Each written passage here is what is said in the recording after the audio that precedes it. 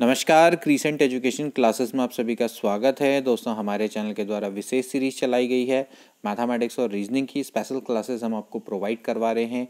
I hope कि ये series आपको हेल्प करेगी आगामी exam like C S A T P C S का सेकेंड पेपर जो कि काफ़ी महत्वपूर्ण होने वाला है, जिसको क्वालिफाई करना इंपॉर्टेंट है।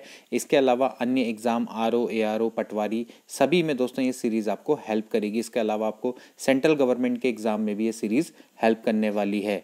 तो इस सीरीज़ को बिल्कुल भी मिस ना करें। हमारी कोशिश रहेगी कि आपको रोज़ सुबह आठ बजे स्पेशल क्लासेस प्रोवाइड करवाई जाएँ। तो रोज़ सुबह आठ बजे तैयार रहिए मैथमेटिक्स और रीजनिंग के क्वेश्चंस करने के लिए। तो आज का टॉपिक रहेगा दोस्तों वर्गमूल, घनमूल। इसके अलावा दोस्तों हम साइक्लिसिटी के बारे में डिस्कस करेंगे और घातांक और करनी पर भी क्वेश्चंस को करेंगे। तो बहुत इंपॉर्टेंट आज का टॉपिक रहने वाला। बहुत सारे फैक्ट्स आपको दोस्तों जानने को मिलेंगे। तो वीडियो को ज़रूर शेयर करें। तो चलिए शुरू करते हैं। तो फ्रेंड्स सबसे पहले आज का टॉपिक पढ़ेंगे वर्गमूल तथा घनमूल। वर्गमूल मतलब स्क्वायर रूट और घनमूल का मतलब होता है क्यूब रूट तो वर्गमूल क्या होता है? किसी संख्या का वर्गमूल वह संख्या है जिसे अपने से गुणा करने पर दी गई संख्या हमको प्राप्त हो जाती है। यानी कि अगर आपने x का वर्गमूल निकालना है तो आप उसको इस तरह से सिंबलिकली रिप्रेजेंट करते हैं। रूड एक्स से आप उसको व्यक्त करते हैं। यानी कि अगर मैं कोई नंबर ले लूँ रूड नाइन तो रूड नाइन का मतलब है थ्री यानी कि वो संख्या जिसको आप अपने आप से मल्टीप्लाई करेंगे तो दोबारा क्या आ जाएगा? नाइन आ जाएगा। तो इसका मतलब है कि जो स्क्वायर रूट ऑफ़ नाइन है, वो एक्चुअली कितना होता है? थ्री होता है, क्योंकि तीन को तीन से गुणा करने पर नाइन आता है। यानी कि तीन का वर्ग नौ है तो नौ का वर्गमूल कितना होता है? तीन होता है। इसी तरह से दोस्तों, जो सोलह का वर्गमूल आप निकालेंगे तो कितना आएगा? चार आएगा। इसी तरह से अगर आप चौंसठ का वर्गमूल निकालेंगे तो वो आएगा आठ, क्योंकि जो आठ का स्क्वायर होता है दोस्तों, वो क्या होता है? चौंसठ होता है, ठीक है? तो आप कोशिश करिए कि बीस तक के आपको स्क्वायर और स्क्वायर रूट अच्छे से आने चाहिए, क्योंकि मैथमेटिक्स में बहुत ज़रूरी हो जाता है कि आप जब क्वेश्चंस को सॉल्व करें तो आपको फटाफट आपको स्क्वायर और स्क्वायर रूट सबके आने चाहिए, ठीक है? दो का स्क्वायर तीन का स्क्वायर चार का स्क्वायर पाँच का स्क्वायर से लेकर आपको बीस तक के स्क्वायर इवन पच्चीस, तीस तक के भी स्क्वायर आप याद कर सकते हैं, लेकिन फिर भी मैं आपसे कहूँगा कि आप बीस तक के स्क्वायर ज़रूर याद करके जाएँ, और इसके अलावा इनके जो, जितने स्क्वायर हैं तो फिर उसके स्क्वायर रूट भी आपको ऑलरेडी याद हो जानी चाहिए, ठीक है? अब अगला क्या आता है? घनमूल। तो घनमूल में क्या होगा दोस्तों? कि किसी भी संख्या का अगर हमने घनमूल निकालना है तो हम उसको कैसे निकालते हैं? इस तरह से लिखते हैं। देखिए, जो स्क्वायर रूट है स्क्वायर रूट को वैसे एक्चुअली ऐसे लिखा जाता है, क्योंकि यहाँ पर टू होता है। तो भाई घनमूल को हम इस तरह से दिखाते हैं। यहाँ पर क्या आ जाएगा? थ्री आ जाएगा, ठीक है? तो अगर इसका जो घनमूल है वो बी आता है तो इसका मतलब सिंपल है कि बी का क्यूब करेंगे तो वो ए के बराबर आना चाहिए। ठीक है?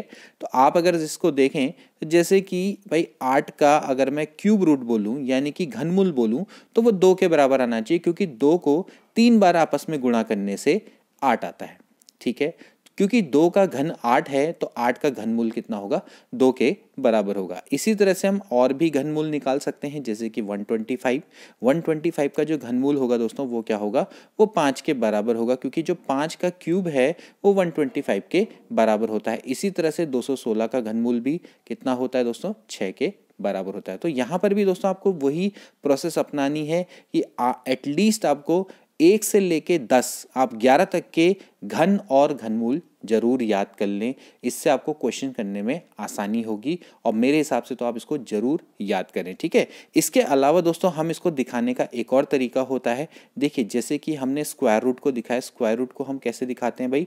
भाई, जैसे मान लेते हैं स्क्वायर रूट ऑफ़ थ्री निकालना है तो मैं इसको यहाँ पर टू लिखाता हूँ तो मैं इसको ऐसे भी लिख सकता हूँ थ्री की पावर वन बाई टू ठीक हो गया। दोस्तों, ये लिखने का तरीका होता है। इसी तरह से मैं चाहूँ तो जैसे रूड पाँच है तो मैं इसको पाँच की पावर एक बटे दो लिख सकता हूँ, ठीक है? इसी तरह से मैं अगर पाँच का अगर मेरे को घनमूल निकालना है तो मैं पाँच की पावर वन बाई थ्री लिख सकता हूँ। ठीक है? ऐसे ही आगे चलते चले जाएँगे। देखिए, जैसे कि अभी तक हमने घनमूल पढ़ा तो ऐसे ही दोस्तों आप क्या कर सकते हैं? फोर्थ रूट भी निकाल सकते हैं। जैसे मैंने जो पाँच है तो पाँच का दोस्तों मैंने क्या निकाल दिया? फोर्थ रूट निकाल दिया। तो पाँच की पावर कितना हो जाएगा भाई? वन बाई फोर हो जाएगा, ठीक है? तो अब आप देखिए, जैसे कि एक संख्या है ए अगर मैं उसका फोर्थ मूल निकालूँगा तो वो बी के बराबर आएगा। इसका सिंपली मतलब है कि ए बराबर होना चाहिए बी की पावर फोर।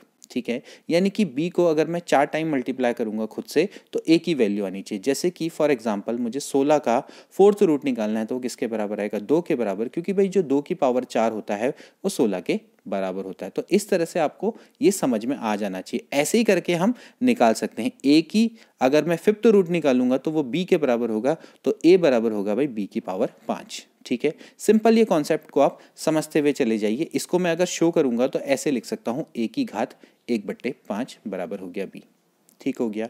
तो दोस्तों, ये आपको कॉन्सेप्ट पूरी तरह से क्लियर हो जाने चाहिए। और ऐसे ही दोस्तों, मैं क्या कर सकता हूँ? ए की पावर का एनएथ रूट निकाल सकता हूँ। एनएथ रूट का मतलब है, एक जनरल की बात चल रही है, यहाँ पर एन की वैल्यू हो सकती है two three four five six seven eight तक अप टू एन तक हो सकती है। तो उसको मैं कैसे दिखाऊँगा दोस्तों? ए की पावर वन अपॉन एन और अगर ये बी के बराबर आता है तो इसका मतलब है कि बी की पावर एन बराबर ए के होना चाहिए। ये हमारा क्या है दोस्तों? एक जनरल कॉन्सेप्ट है। जनरल कॉन्सेप्ट में हम इसको इस तरह से दिखाते हैं, ठीक है? तो दोस्तों, जहाँ हमने बात करी, जैसे अगर मैं कहता हूँ रूट टू रूट थ्री ठीक है रूट फाइव ठीक?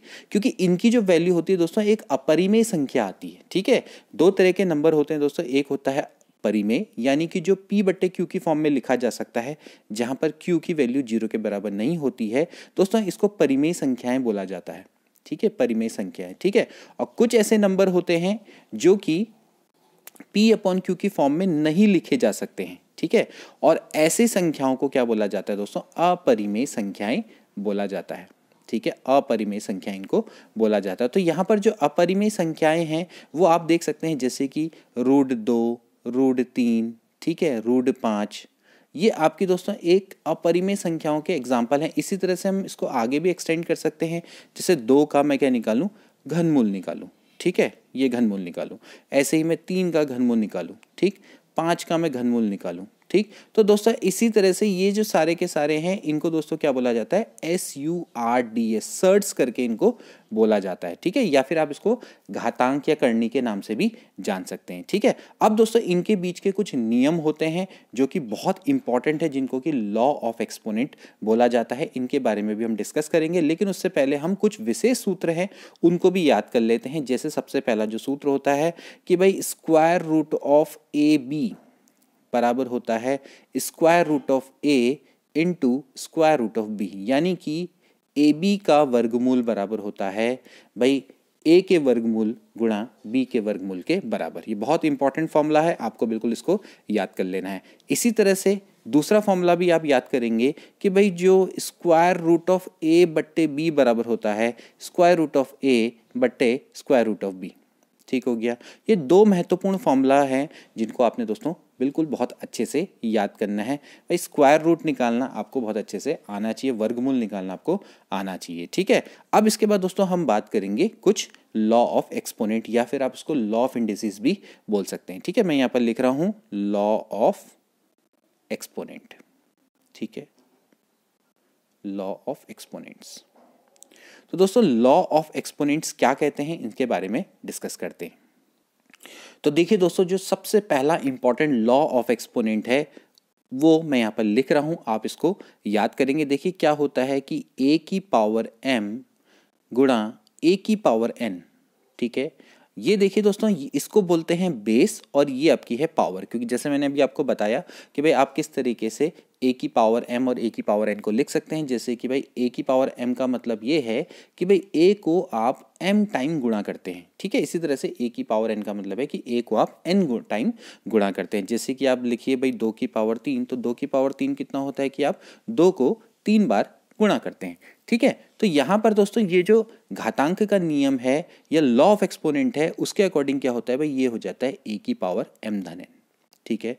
तो very important rule most important rule है कि भाई ए की पावर एम गुणा ए की पावर एन बराबर होता है ए की पावर एम प्लस एन ठीक है? दूसरा रूल जो होता है दोस्तों, आपको ये भी याद करना पड़ेगा भाई, दूसरा रूल क्या होता है? ये होता है भाई ए की घात एम बट्टे ए की घात एन ठीक है ए की घात एम बटे ए की घात एन बराबर होता है ए की घात एम माइनस एन ठीक हो गया। ये भी एक बड़ा इंपॉर्टेंट रूल है। ठीक है? दोस्तों, ये रूल आपको बिल्कुल याद करने पड़ेंगे। ठीक है? आप इसी रूल को दोस्तों दूसरी तरीके से भी लिख सकते हैं। देखिए, इसको आप ऐसा भी लिख सकते हैं। अगर ये वाला पार्ट नीचे चले जाए तो वन अपॉन ए की पावर एन माइनस एम ठीक हो गया? तो यानी कि जो वन अपॉन ए की पावर एन माइनस एम है, वो वन अपॉन मतलब कि ए की घात एम माइनस एन के बराबर होता है। ठीक हो गया? यानी कि जब आप नीचे से अगर आप किसी चीज़ को ऊपर ले जाते हैं तो पावर में क्या हो जाता है? माइनस हो जाता है। ठीक है? ये चीज़ आपको याद करनी पड़ेगी। ठीक है? जैसे कि मैं कहता हूँ, भाई जो ए का पावर टू है तो मैं उसको लिख सकता हूँ वन अपॉन ए की घात माइनस दो। ठीक है? इसी तरह से अगर मैं लिखता हूँ वन अपॉन ए की पावर थ्री तो ये ऊपर जाके बन जाएगा ए की पावर माइनस थ्री ठीक है? तो अगर जो पावर है वो प्लस में है तो ऊपर जाके वो क्या बन जाएगी? माइनस में चली जाएगी। और अगर ऊपर वाली प्लस में है तो नीचे जाके वो क्या बन जाएगी? माइनस में बन जाएगी। तो ये आपका दूसरा नियम है, ठीक है? इसके बाद दोस्तों हम बात करते हैं इसके तीसरे नियम की, ठीक है? तीसरा नियम क्या कहता है दोस्तों कि ए की घात एम की घात एन बराबर होता है ए की घात एम गुणा एन ठीक है? ये एक और बड़ा इंपॉर्टेंट रोल है।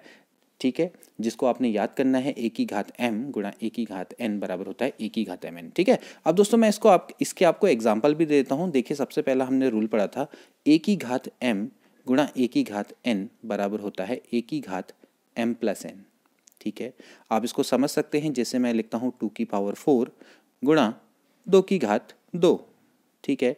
ध्यान रखना है कि यहाँ पर बेस सेम होना चाहिए। पावर कोई बात नहीं डिफरेंट भी हो जाए तो कोई फ़र्क नहीं पड़ता। तो यहाँ पर हो जाएगा भाई दो की घात चार प्लस दो, यानी कि दो की घात छः ठीक है? बहुत सिंपल सा रूल है। इसी तरह से अगर मैं दूसरा रूल देखूँ तो ए की घात एम बटे ए की घात एन बराबर हो जाता है ए की घात एम माइनस एन ठीक हो गया? तो यानी कि अगर मैं यहीं पर यही रूल में इसको रखूँ तो दो की घात चार बटे दो की घात दो बराबर होना चाहिए दो की घात चार माइनस दो। क्योंकि यहाँ पर चार है, यहाँ पर दो है तो दो की घात क्या हो जाएगा? दो हो जाएगा, ठीक है? अगर मैं इसका उल्टा करूँ तो क्या होना चाहिए दोस्तों? ये होना चाहिए, दो की घात चार बट्टे दो की घात दो, इसको अगर मैं नीचे ले आऊँ तो ये हो जाएगा भाई दो की घात दो माइनस चार। दो माइनस चार हो जाता है दोस्तों, माइनस दो, ठीक हो गया? जैसे कि मैंने आपको बताया, दो की घात दो को आप क्या लिख सकते हैं? एक बट्टे दो की घात माइनस दो, ठीक हो गया? अब इसके बाद अगला अगला रूल देखिए। जो कि मैंने आपको बताया ए की पावर एम की पावर एन यानी कि मैं लिखता हूँ दो की घात तीन की घात दो तो ये नथिंग बट दो की घात तीन गुणा दो, यानी कि दो की घात छः ठीक हो गया? ये दोस्तों आपको रूल समझ में आई होप कि आ रहे होंगे। ठीक है? इसके बाद दोस्तों अब जो अगला रूल आता है, जो कि एक बड़ा इंपॉर्टेंट रूल है, जो कि अभी हमने आपको बताया भी था कि भाई ए बी की पावर एन ए बी की पावर एन बराबर क्या होता है? ए की पावर एन गुणा बी की पावर एन ठीक है?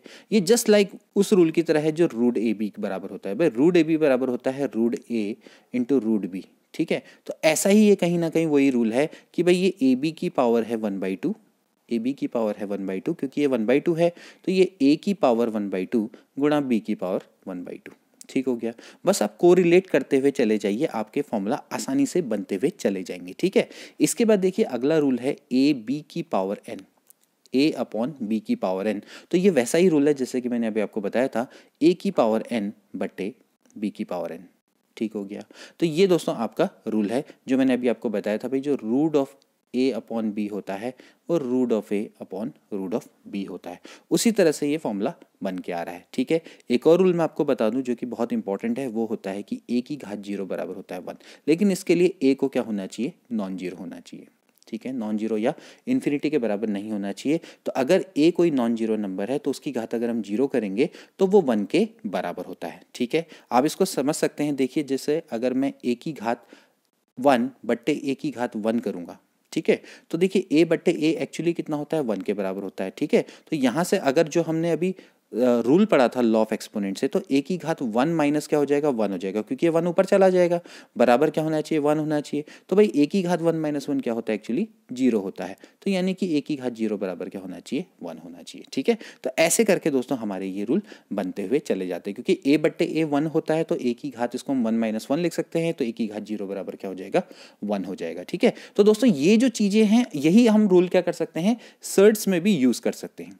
ठीक है? सर्ट्स में जैसे मैंने अभी आपको बताया कि भाई, अभी आपने देखा कि भाई ए की घात वन बाई टू है या एक ही घात वन बाई तीन है या एक ही घात वन बाई एन है, इनमें भी ये रूल को यूज़ किया जा सकता है, ठीक है? तो भाई कैसे यूज़ करेंगे? उसी तरह का तरीका रहेगा। जैसे कि मैंने अभी आपको दोस्तों बताया कि रूट ऑफ़ ए बी था। तो रूट ऑफ़ ए बी की जगह पे आप nth root of a b लिख देंगे तो क्या हो जाएगा दोस्तों? ये हो जाएगा nth root of a गुणा nth root of b ठीक है? या फिर आप इसको अच्छे से लिखना चाहें, थोड़ा और समझ में लिखना चाहें तो ए बी की पावर एक बट्टे एन बराबर हो जाएगा, ए की घात एक बट्टे एन गुणा बी की घात एक बट्टे एन, ठीक है?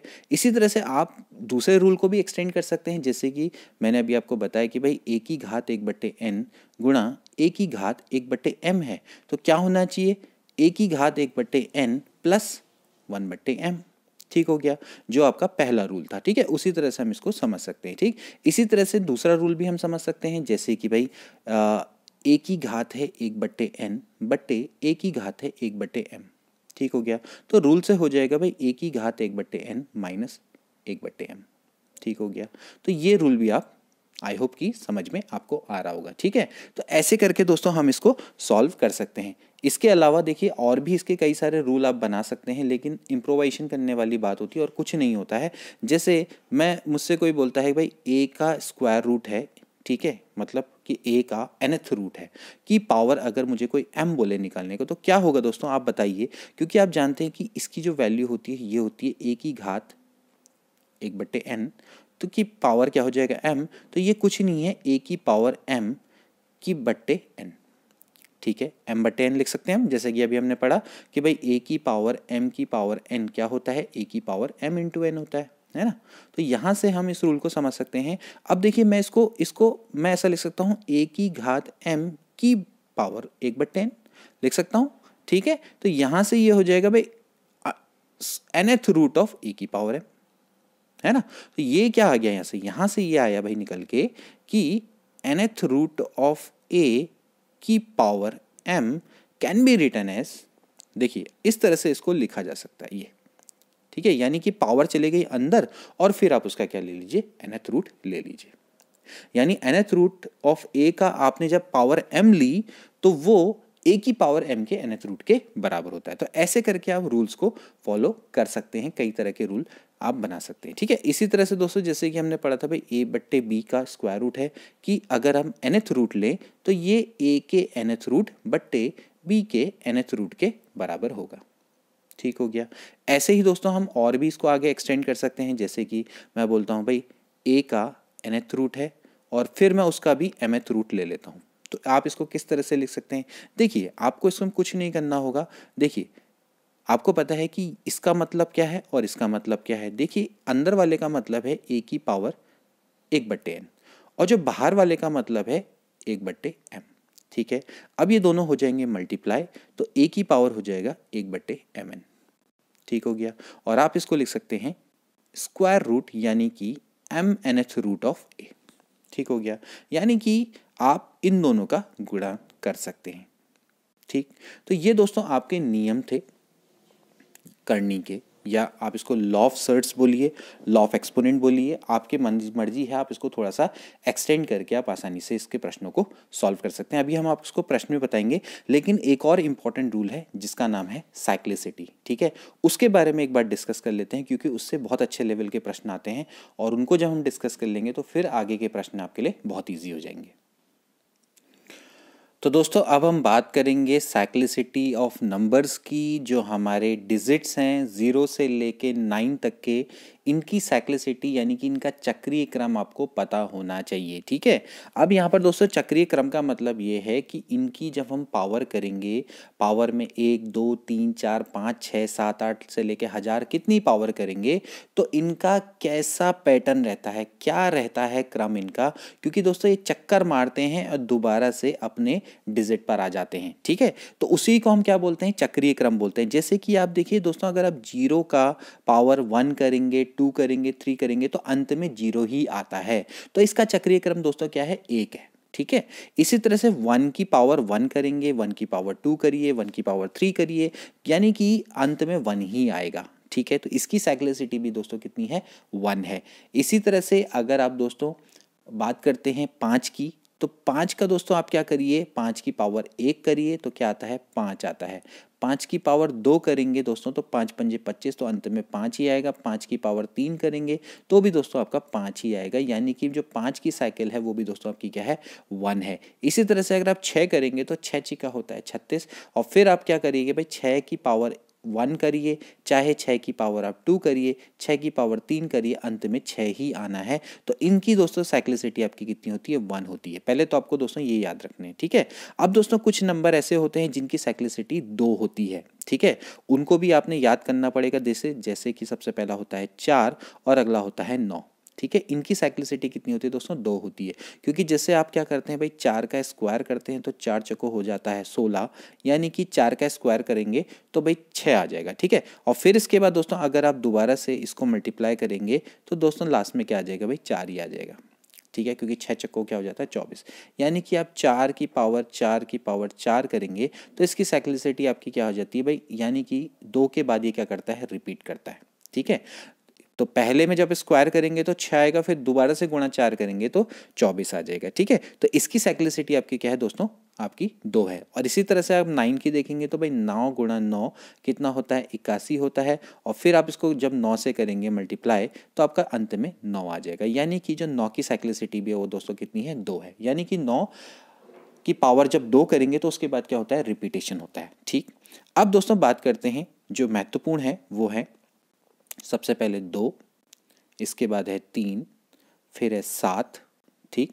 और इसके अलावा आठ, ठीक हो गया? दोस्तों, इन नंबर्स की साइक्लिसिटी चार है, ठीक है? साइक्लिसिटी चार है।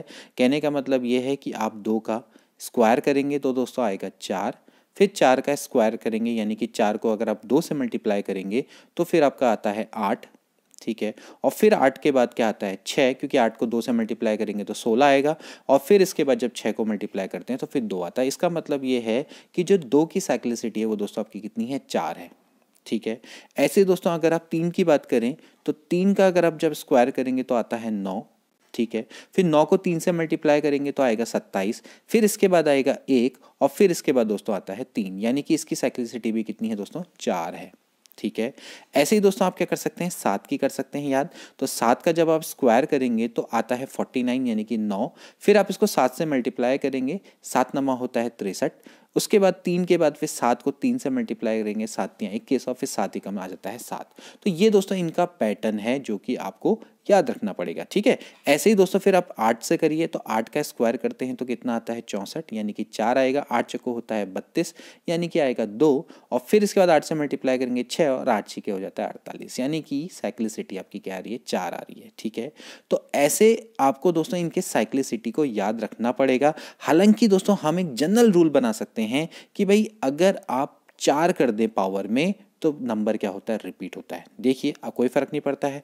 देखिए, अगर आप देखें, जैसे हमने जब बात करी चक्रीय क्रम में, यहाँ पर जब मैं चक्रीय क्रम की बात कर रहा हूँ तो इनका चक्रीय क्रम हमने बोला एक है। भाई छः की पावर एक करेंगे, दस करेंगे तो छः ही आएगा। ठीक है? तो यानी कि आप इसको दोस्तों डायरेक्टली ये भी लिख सकते हैं कि, भाई छः की पावर चार करेंगे तो भी तो छः आएगा ना?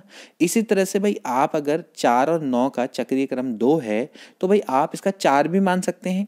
कोई फ़र्क नहीं पड़ता क्योंकि चार की पावर चार करेंगे तो दोबारा से चार ही आ जाएगा। तो भाई सिंपल सा रूल ये समझ लीजिए कि आपको बस चक्रीय क्रम सबका कितना होता है? चार होता है। ये भी आप याद कर सकते हैं। एज ए जनरल रूल अगर आपको ये याद नहीं हो पा रहा है कि भाई किसी का एक है, किसी का दो है, किसी का चार है तो बस आप एक जनरल लॉ समझ लीजिए कि सबका चक्रीय क्रम कितना होता है? चार होता है। इससे हमारे लिए क्वेश्चन बहुत इजी हो जाएगा। यानी कि आपने क्या करना होगा पावर में अगर चार के मल्टीपल में कोई चीज़ है तो यानी कि उसका जो चक्रीय क्रम है, जो अंतिम में जो नंबर आएगा, वो उसी के बराबर हो जाएगा। ठीक हो गया? आप इस चीज़ को समझ लिए। जैसे कि अगर मैं कहता हूँ, भाई, तीन की घात अगर मैं चार कहता हूँ तो अगर तीन की घात में चार कहता हूँ, यहाँ तक तो ठीक है। यहाँ तक यहाँ तक तो क्या होगा? रिपीटेशन होगा और इसके बाद जो अगला नंबर आएगा, वो उसी नंबर से शुरू होगा। ठीक है? जैसे आप देख सकते हैं, भाई, तीन गुणा तीन गुणा तीन गुणा तीन, ठीक है? भाई, तीन तिया होता है नौ नौ तिया होता है सत्ताईस सत्ताईस तिया होता है इक्यासी, यानी कि यहाँ तक तो ठीक है। इसके बाद अगर आप इसको तीन से गुणा करेंगे तो आप आसानी से देख सकते हैं कि इसका जो अंतिम अंक होगा, वो तीन के ही बराबर होगा। ठीक हो गया? इस तरह के प्रश्न दोस्तों आपसे पूछे जाते हैं कि घात का अंतिम अंक क्या होगा। इस पर बेस्ड मैं आपको कुछ क्वेश्चंस कराता हूँ, उससे आपके लिए बहुत ईजी हो जाएगा। अब दोस्तों, आपके सामने एक प्रश्न है। पहले मैं बहुत सिंपल लेवल का प्रश्न आपको बता रहा हूँ। आपको मैं इसको चुटकियों में करना सिखाऊँगा, किस तरह से आप इसको कर सकते हैं। आपको बताना है कि जब आप इसको गुणा करेंगे तो इकाई का अंक क्या आएगा? तो जब आपको दोस्तों इकाई का अंक देखना होता है ना तो आप इन सबको हटा दीजिए। ये जो पहले के जो दो अंक है ना, इनको हटा दीजिए। आप इनके इकाई का अंक देखिए, क्या है? छः, आठ, नौ, दो। ठीक हो गया। अब दोस्तों आपने क्या करना है? इनको मल्टीप्लाई करना है। लेकिन आप इसको जब मल्टीप्लाई करेंगे तो भी आप इकाई का अंक याद रखेंगे। आठ छिके होता है? अड़तालीस, यानी कि इकाई का अंक आएगा आठ, गुणा होता है नौ, गुणा दो। ठीक हो गया। आठ नम्मा होता है बहत्तर, यानी कि इकाई का अंक आएगा दो, गुणा दो, यानी कि इकाई का अंक आ जाएगा चार। और यहीं पर आपका क्वेश्चन हो गया खत्म। ठीक हो गया। ऐसे ही दोस्तों हम और प्रश्न करते हैं। देखिए मैं आपके सामने एक और प्रश्न लिखता हूँ। यानी कि थ्री फाइव टू सेवन की पावर है नौ सॉरी छः सौ चौवन। ठीक है? छः सौ चौवन है, इसका मुझे निकालना है इकाई का अंक। ठीक हो गया? तो दोस्तों, जब मैं इकाई के अंक की बात करता हूँ तो मुझे ये हटाने पड़ेंगे। बस इकाई का अंक देखना पड़ेगा, यानी कि मुझे सात की पावर छः सौ चौवन का इकाई अंक देखना पड़ेगा। अब रूल क्या कहता है? रूल मैंने आपको बताया कि जो साइक्लिसिटी होती है वो कितनी की होती है दोस्तों? चार की होती है। यानी कि आपको दोस्तों क्या करना पड़ेगा? इसको चार से डिवाइड करना पड़ेगा। देखिए, मैंने आपको बताया था चार से डिवाइड करने के रूल मैंने आपको बताए थे। आप इसको चार से डिवाइड करिए। ठीक है? तो चार से हम डिवाइड करेंगे तो भाई चार ही कम आएगा चार। ठीक है? और यहाँ पर बचेगा दो। चार छिके होता है चौबीस। ठीक है? और यहाँ पर बच जाएगा चौदह। चार तियाँ हो जाता है बारह। चार तिया हो जाता है, बारह। ठीक हो गया। यानी कि आप ये मान के चलिए कि इसमें से एक सौ तिरसठ गुणा चार, ये तो गया बेकार, ठीक है? यानी कि जो चार का मल्टीपल है, वो तो यहाँ पर आ गया। अब कितना बचेगा दोस्तों? रिमाइंडर बचेगा। तो रिमाइंडर को आप सिंपली लिख दीजिए। क्योंकि मैंने आपको पहले ही बताया कि भाई जो वहाँ तक तो क्या करेगा, वो रिपीट करेगा उसी चीज़ को, ठीक है? और बाकी को आपने क्या कर देना है? रिमाइंडर को लिख देना जैसे कि मैंने अभी आपको रूल बताया था। रूल क्या बताया था मैंने दोस्तों कि आपको कि भाई जो साइक्लिसिटी है, चार है तो बस आपने क्या करना है, जहाँ तक वो चार से डिवाइड हो रहा है, उसको लिखो, बाकी के रिमाइंडर को छोड़ दो। मतलब कि जो बाकी का जो पार्ट है उसको आप हटा दीजिए, ठीक है? तो भाई सीधी बात है कि यहाँ पर आपने क्या करना है, इसको चार से डिवाइड कर देना है और उसका जितना भी रिमाइंडर आता है, उसको आपने लिख देना है और कुछ नहीं करना है। तो यानी कितना हो जाएगा? सेवन का स्क्वायर करेंगे तो आएगा फोर्टी नाइन यानी कि जो इसका अंतिम अंक आ जाएगा वो नौ आ जाएगा। ठीक हो गया? बहुत सिंपल से क्वेश्चन होते हैं, बहुत इजीली हम इसको कर सकते हैं। देखिए हम कैसे चुटकियों में इसको कर सकते हैं। देखिए, मैं फिर से लिखता हूँ सेवन की पावर है सिक्सटी फाइव गुणा छः की घात है इकतालीस गुणा तीन की घात है सत्तावन। ठीक है? आपको क्या करना है? इसका इकाई का अंक निकालना है। दोस्तों, इसको चार से डिवाइड करिए, जो रिमाइंडर बचता है उसको लिखिए। भाई, चार से अगर जब आप इसको डिवाइड करेंगे, जब आप पैंसठ को चार से डिवाइड करेंगे दोस्तों तो क्या बचेगा?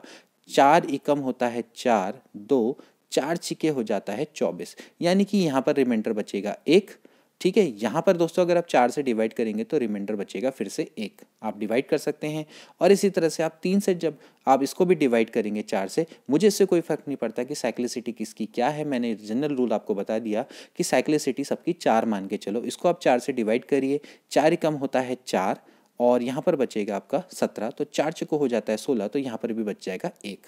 ठीक हो गया। अब इसके बाद आपको क्या करना है? सात छिके होता है बयालीस, यानी कि आपको लिख देना है दो गुणा, यानी कि तीन, यानी कि आपका छः तो यानी कि जो सिक्स वाला होगा दोस्तों, आपका क्या होगा? इसका इकाई अंक होगा। आई होप कि आपको समझ में आ रहा होगा। इसको तो मैं और भी बहुत जल्दी कर सकता हूँ, लेकिन मैं आपको बताने के लिए इसको जितना हो सके उतना धीमे करने का प्रयास कर रहा हूँ। आप इसको सिर्फ़ देख के ही इस तरह के क्वेश्चनों को सॉल्व कर सकते हैं। और दोस्तों, मैं आपको प्रैक्टिस करवा लेता हूँ कुछ प्रश्न जो कि पूर्व में बैंक पीओ परीक्षा में आ चुके हैं। देखिए, एक प्रश्न आया था टू वन थ्री सेवन की पावर है सेवन फिफ्टी थ्री इसमें आपको बताना है कि इसका इकाई अंक क्या होगा दोस्तों एओ परीक्षा में 2015 में ये प्रश्न आ चुका है। तो कैसे करेंगे? सबसे पहले आप इसको काट दीजिए, कोई दिक्कत नहीं है सेवन की पावर हो जाएगा सेवन फिफ्टी थ्री ठीक हो गया। अब दोस्तों मैंने पहले बताया, इसको आपने क्या करना है? चार से डिवाइड कर देना है, जो रिमाइंडर बचेगा उसको लिख देना है। जब आप इसको चार से डिवाइड करेंगे दोस्तों तो क्या आ जाएगा? यहीं पर ही डिवाइड कर दीजिए। चार कम होता है चार, तीन बचेगा, इसके बाद बच जाएगा पैंतीस।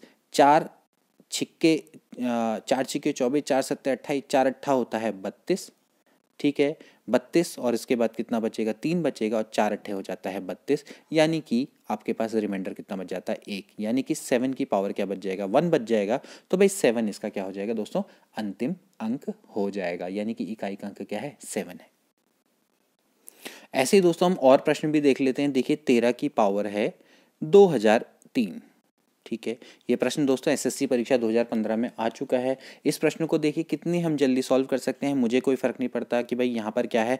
मुझे सिर्फ़ इकाई अंक देखना है, तीन की पावर है 2003 मुझे इसको क्या कर देना है? चार से डिवाइड कर देना है बस रिमाइंडर को लिख देना है। तो चार से अगर मैं इसको दोस्तों डिवाइड करूँगा तो चार पंजे हो जाता है बीस और फिर मुझे बचता है कि इसके बाद जो रिमाइंडर बचेगा वो तीन बच जाएगा। तो तीन की पावर में लिख दूँगा तीन और तीन की पावर जब मैं तीन लिखूँगा तो कितना हो जाएगा भाई? तीन तिया नौ। नौ तिया हो जाता है, सत्ताईस, यानी कि सात इसका राइट आंसर आ जाएगा। तो seven is a right answer तो इस तरीके से दोस्तों आप इस क्वेश्चन को कर सकते हैं, ठीक है? इसके अलावा भी देखिए एक और प्रश्न है जो कि मुझे दिखाई दे रहा है यहाँ पर। देखिए, बाईस की पावर है ट्वेंटी थ्री ठीक है, बाईस की पावर है ट्वेंटी थ्री इसको हटाइए टू की पावर लिखिए ट्वेंटी थ्री इसको चार से डिवाइड कर दिए, चार पंजे होता है बीस तो टू की पावर बच जाएगा थ्री और यहाँ पर आ जाएगा एट तो एट इसका क्या हो जाएगा, इकाई अंक हो जाएगा, ठीक है? और भी प्रश्न मैं आपको बताता हूँ, जैसे कि है, ये सारे प्रश्न पूर्व परीक्षा में आ चुके हैं सेवन की पावर है वन ज़ीरो फाइव सेवन की पावर वन ज़ीरो फाइव है तो आपको क्या करना है, इसको चार से डिवाइड करना है, चार से आप इसको डिवाइड करिए सेवन की पावर हो जाएगा, भाई कितना, चार दूनी होता है आठ और यहाँ पर बचेगा दो, चार छिके हो जाता है चौबीस, यानी कि एक बच जाएगा तो सेवन इसका राइट आंसर हो जाएगा, ठीक है? इस तरह से दोस्तों आप इसको कर सकते हैं, और भी मैं आपको प्रश्न बताता हूँ, देखिए किस तरह से आप इसको करते हुए चले जाएँगे, और भी मतलब कितने सारे प्रैक्टिस वाले प्रश्न मेरे को यहाँ पर दिखाई दे रहे हैं, मैं एक के बाद एक आपको बताते हुए चले जाता हूँ, देखिए फाइव सिक्स टू सेवन की पावर है वन फिफ्टी थ्री गुणा छः सौ इकहत्तर की पावर है सेवेंटी टू ठीक है। तो बस आपको कुछ नहीं करना है, आपको क्या करना है, इसमें इकाई अंक देखना है। तो यहाँ पर आप सेवन की पावर इसको लिख दीजिए वन फिफ्टी थ्री ठीक है? और ये लिख दीजिए वन की पावर सेवेंटी टू अब वन की पावर सेवेंटी टू तो आप सिंपली मानते हैं कि वो वन ही होगा। बस यहाँ पर आपको खेल खेलना है। सेवन की पावर जो वन फिफ्टी थ्री है, इसको डिवाइड करिए चार से तो चार तियाँ होता है बारह, ठीक है? और इसके बाद बचेगा तीन। चार अट्ठे हो जाता है, बत्तीस यानी कि सेवन की पावर वन बच जाएगा तो seven is a right answer ठीक है? सेवन इसका राइट आंसर आ जाएगा, ठीक है? और भी देख लेते हैं, भाई एक प्रश्न और आ रहा है यहाँ पर निकल के कि भाई इकाई अंक क्या होगा? सेवन की पावर है नाइन्टी फाइव माइनस थ्री की पावर फिफ्टी एट ठीक है? आपसे पूछा गया है कि इसमें इसका इकाई अंक क्या होगा? तो इकाई अंक को निकालने के लिए आपको कुछ नहीं करना है। आप इसका इकाई अंक निकालिए, इसका इकाई अंक निकालिए और दोनों का क्या कर लीजिए? डिफरेंस निकाल लीजिए, ठीक है? देख लेते हैं कितना आ जाएगा। देखिए, अगर सेवन की पावर अगर आप नाइन्टी फाइव करेंगे तो सबसे पहले आप इसको चार से डिवाइड करिए। तो चार से जब आप इसको डिवाइड करेंगे तो चार दुनिया होता है आठ और चार तीन आ जाता है बारह, ठीक है? यानी कि चार दुनी आठ और चार तियाँ बारह। तो इसका मतलब यहाँ पर कितना बचेगा दोस्तों? चार दुनी आठ और चार तियाँ बारह, यानी कि सेवन की पावर यहाँ पर क्या बच जाएगा? थ्री बच जाएगा, ठीक है? माइनस ऐसे ही यहाँ पर भी आप करेंगे तो चार कम होता है चार और चार चको हो जाता है सोलह, यानी कि तीन की पावर दो बच जाएगा। सेवन थ्री जा होता है twenty one twenty one into seven यानी कि अगर आप देखें तो सात देखिए सेवन सेवन जा कितना होता है? सेवन सेवन जा होता है सॉरी सेवन सेवन जा होता है फोर्टी नाइन और नाइन सेवन जा कितना होता है? सिक्सटी थ्री तो यहाँ पर तो आ जाएगा थ्री और थ्री की पावर थ्री का स्क्वायर है तो थ्री का स्क्वायर कितना हो जाएगा? नाइन हो जाएगा, ठीक है? अब दोस्तों थ्री में से तो नाइन माइनस हो नहीं सकता तो इसका मतलब क्या करना पड़ेगा? एक कैरी लेना पड़ेगा तो तेरह में से आप नौ को माइनस करेंगे तो चार इसका राइट आंसर होना चाहिए, ठीक है? ऐसा नहीं कि दोस्तों कि आप तीन में से छः तीन में से नौ माइनस करके माइनस छः बना दे रहे, नहीं। इसका मतलब ये हुआ होगा कि यहाँ से क्या करेगा? एक को कैरी लेगा तो यानी तेरह बन जाएगा और तेरह में से नौ जाए चला जाएगा तो छः बन जाएगा। देखिए बैंक पीओ में प्रश्न आ चुका है और बहुत ईजिली हम इसको कर सकते हैं। और भी मैं आपको प्रश्न बताते हुए जाता हूँ। ऐसे ही दोस्तों, आगे का प्रश्न देखते हैं। जैसे कि एक और प्रश्न यहाँ पर दिख रहा है, भाई थ्री की power sixty one into six की पावर है फोर्टी थ्री गुणा है सेवन की पावर एटी टू इसमें दोस्तों आपको इकाई अंक निकालना है, आपको कुछ नहीं करना है। तीन को, अगर आप इकसठ से को डिवाइड करेंगे, चार से तो आपका रिमाइंडर बचेगा एक छः इसको अगर आप डिवाइड करेंगे तो तीन और ऐसे ही दोस्तों आप इसको अगर चार से डिवाइड करेंगे तो आपका कितना बचेगा? दो बचेगा, ठीक है? आप इजीली यहाँ पर देखते हैं, चार से डिवाइड करते हुए चले जाइए रिमाइंडर लिखते हुए चले जाइए तो तीन, अब छः गुणा छः गुणा छः छः चिका होता है छत्तीस तो यानी कि आपको पता है छः की जो साइक्लिसिटी होती है वो एक होती है तो आप आसानी से भी कर सकते हैं। सेवन सेवन जा होता है फोर्टी नाइन यानी कि नाइन आ जाएगा। छः तियाँ हो जाता है अट्ठारह यानी कि इसका बचेगा आठ, और आठ नमा होता है बहत्तर, यानी कि अंत में बचेगा दो। ठीक हो गया। यानी कि दो इसका राइट आंसर है, ठीक है? आगे बढ़ते हैं, एक और प्रश्न देख लेते हैं, ठीक है? एक और प्रश्न है, जो बड़ा अच्छा प्रश्न है, देखिए, जो सेवनटीन की पावर है, उन्नीस सौ निन्यानवे, ठीक? प्लस ग्यारह की पावर है, उन्नीस सौ निन्यानवे माइनस सेवन की पावर है, उन्नीस सौ निन्यानवे। ठीक हो गया। दोस्तों, आपको क्या करना है? इनके इकाई को, अंकों को निकालना है, ठीक है? अब आप देखिए, इकाई के अंकों को निकालने के लिए पहले तो आप सत्रह की जगह पे सात लिख दीजिए, वन नाइन नाइन नाइन, ठीक है? ग्यारह की जगह पे एक लिख दीजिए, कोई फ़र्क नहीं पड़ता तो इसका एक अंक एक ही आएगा। माइनस सेवन की पावर लिख दीजिए आप, वन नाइन नाइन नाइन, ठीक है? देखा जाए तो अब अगर आप इसका इकाई का अंक दोस्तों निकालेंगे तो यहाँ का जो इकाई का अंक दोस्तों, वो कितना आएगा? क्योंकि आप देख सकते हैं, क्योंकि यहाँ पर सेवन, चाहे सत्रह हो, चाहे कुछ हो, यहाँ यहाँ का इकाई का अंक दोस्तों आप देख सकते हैं कि भाई ये आ जाएगा आपका सेवन। ठीक है? क्योंकि यहाँ पर आप देखेंगे तो वन नाइन नाइन एट होता है, जो वन नाइन नाइन एट होता है आप अगर देखें तो नाइन एट तक, नाइन एट तक फोर से ये डिवाइड हो जाता है। ठीक है? चार एकम चार चार दुनिया आठ, नहीं, एक सेकेंड नाइन एट नहीं, सॉरी नाइन एट नहीं, अगर आप इसको डिवाइड करेंगे नाइन्टी सिक्स तक डिवाइड हो जाएगा ना नाइन्टी सिक्स तक, ठीक है? अच्छा चलिए एक बार मैं इसको देख लेता हूँ। चार चक्को सोलह, ठीक है? चार चक्को हो गया सोलह, और कितना बचेगा? तीन बचेगा।